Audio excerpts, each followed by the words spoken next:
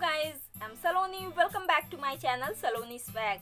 In today's video, I'm going to show you how to get rid of sweat in summer after makeup. So guys, आज के video में मैं आपको बताने वाली हूँ मेकअप करने के बाद जब गर्मियों में आपके फेस पे पसीना आने लगता है स्वेट होने लगता है तो उससे कैसे छुटकारा पाएँ तो आप अपने फेस पे ऐसा क्या अप्लाई करो जिसके बाद आपको मेकअप करने के बाद आपके फेस पे पसीना नहीं हो?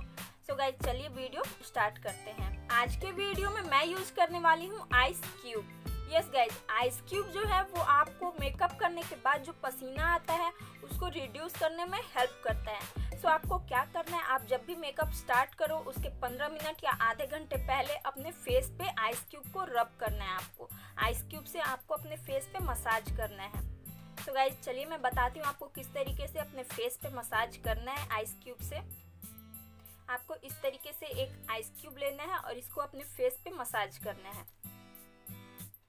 इस तरीके से आपको अपने फेस पे इस आइस क्यूब से मसाज करना है और इसको मसाज करने के बाद ऐसे ही आपको अपने फेस को छोड़ देना है पंद्रह मिनट तक या आधे घंटे तक और आफ्टर थर्टी मिनट या फिफ्टीन मिनट आपको अपना मेकअप स्टार्ट करना है।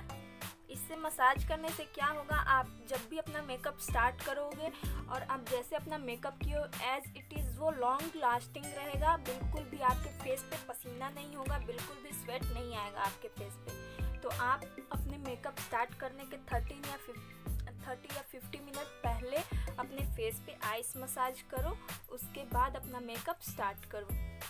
तो इस तरीके से आपको अपने फेस पे मसाज कर लेना है। सो so गाइज़ इस तरीके से आइस मसाज आप कभी भी कर सकते हो। ये आपके फेस के ब्लड सर्कुलेशन को बढ़ाता है। इससे आपके फेस के बहुत सारे प्रॉब्लम्स दूर होते हैं। लाइक like आपके डार्क सर्कल जितने भी डार्क स्पॉट्स हैं, आपके ब्लैक एरिया जो हैं, ये लिप के पास जो ब्लैक एरिया होते हैं, इन सबको रिड्यूस करने में ये हेल्प करता है। बहुत ही ज़्यादा हेल्पफुल होता है आइस मसाज तो मैं रिकमेंड करूँगी आप कभी भी अपने घर पे आप इसको अप्लाई कर सकते हो, इससे मसाज कर सकते हो। ये आपके स्किन के लिए बहुत ही ज़्यादा हेल्पफुल होता है, बहुत ही ज़्यादा इफ़ेक्टिव होता है। सो गाइज़ आई होप आपको मेरी वीडियो अच्छी लगी होगी।